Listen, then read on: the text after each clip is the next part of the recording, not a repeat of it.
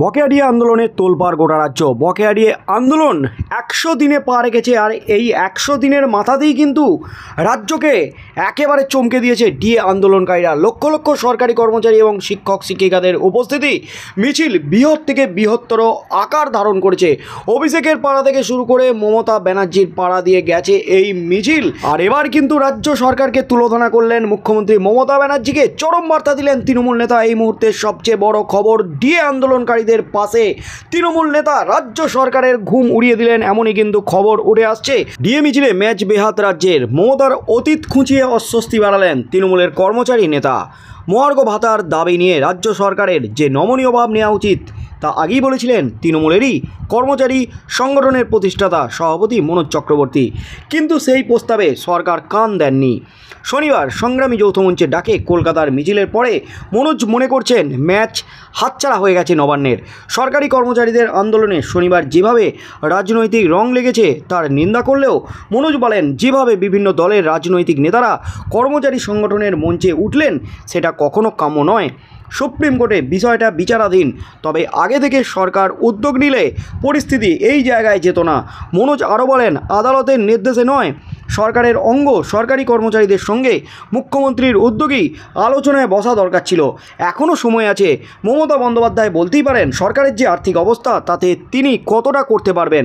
মনোজের এই দাবি নিয়ে তৃণমূলের মুখপাত্র তথা বিধায়ক তাপস রায় বলেন, এখনও তো অদ্ভুতভাবে সব কিছুই রাজনৈতিক হয়ে যায়। ডিএ নিয়ে আন্দোলন হতেই পারে। সুপ্রিম কোর্টে মামলা চলছে। শুধু বাংলা বা ভারত নয়, গোটা বিশ্বেই একটা আর্থিক সংকট চলছে। বিষয়টা সরকারি কর্মচারীদের মাথায় রাখা উচিত। বাম জমানায় সরকারি কর্মচারীদের মূল সংগঠন ছিল কোঅর্ডিনেশন কমিটি। সেই সময়ে তৃণমূলের সংগঠন গড়ার দায়িত্ব পেয়েছিলেন মহাকরণে কর্মরত মনোজ। তাঁর সভাপতিত্বেই তৈরি হয় তৃণমূলের পশ্চিমবঙ্গ রাজ্য সরকারি কর্মচারী ফেডারেশন। অবসরের পর তিনি দীর্ঘ সময় সংগঠনের মেন্টর পদেও ছিলেন। এখন তৃণমূলের নদিয়া জেলা কমিটিতে রয়েছেন মনোজ। সেই মনোজ শনিবারের মিছিল দেখার পর সংবাদ মাধ্যমকে বলেন, এখন বিজেপি, কংগ্রেস এবং সিপিএম ডিএ আন্দোলনকে একটা তৃণমূল বিরোধী মঞ্চে রূপান্তরিত করেছে। এটাই আমার আপত্তি।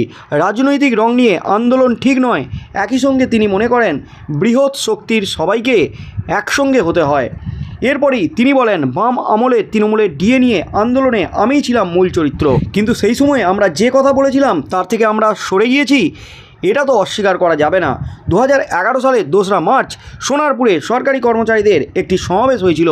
সেখানে আমার থেকে বিভিন্ন পরিসংখ্যান জেনে নিয়েই মমতা বক্তব্য রেখেছিলেন। তখন তিনি ক্ষমতায় এলে ডিএর দাবি মেনে নেওয়া হবে বলে জানিয়েছিলেন।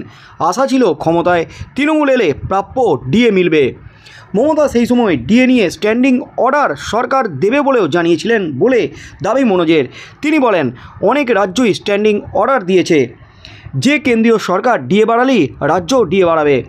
এখন ফেডারেশনের নেতারা এই দাবি থেকে সরে আসতে পারেন, কিন্তু বাম আমলে এটাই ছিল আমাদের প্রধান দাবি। তাদের সমর্থনও ছিল মমতা বন্দ্যোপাধ্যায়ের। এরপরই মনোজ বলেন, আমি বিশ্বাস করি বিজেপি ক্ষমতা এলে বকেয়া ডিএ এবং স্ট্যান্ডিং অর্ডার দেবে, কিন্তু সিপিএম রাজ্যে ক্ষমতায় ফিরলে সেটা হবে না। কারণ এমন দাবিকে উড়িয়ে দিয়েছিলেন জ্যোতি বসু, বুদ্ধদেব ভট্টাচার্য, অসীম দাশগুপ্তরা। ওরাই স্ট্যান্ডিং অর্ডার না দিয়ে ভুল করে গেছেন। এখন কি রাজ্য সরকারের স্ট্যান্ডিং অর্ডার চালু করা উচিত? মনোজ বলেন, এই রাজ্য সরকার অনেক ভালো কাজ করছে যা অতীতে হয়নি। সেই সঙ্গে কর্মচারীদের স্বার্থ দেখে স্ট্যান্ডিং অর্ডার দরকার। আমার অন্য বন্ধুরা এই দাবি থেকে সরে আসলেও আমি সরিনি।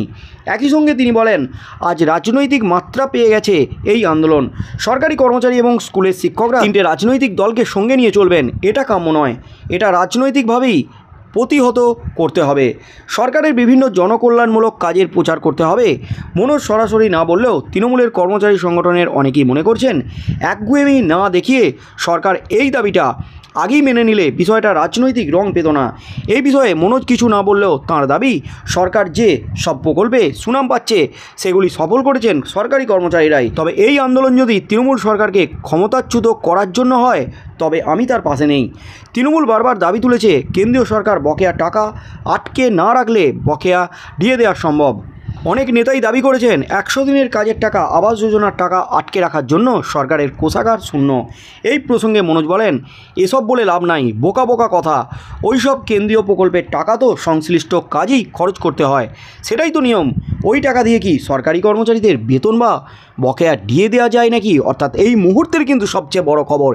এবার কিন্তু মুখ্যমন্ত্রীকে সরাসরি চরম বার্তা দিলেন তৃণমূলেরই। সরকারি কর্মচারী সংগঠনের প্রতিষ্ঠাতা সভাপতি মনোজ চক্রবর্তী, তিনি কিন্তু স্পষ্ট বললেন, মুখ্যমন্ত্রী প্রতিশ্রুতি ভঙ্গ করেছেন।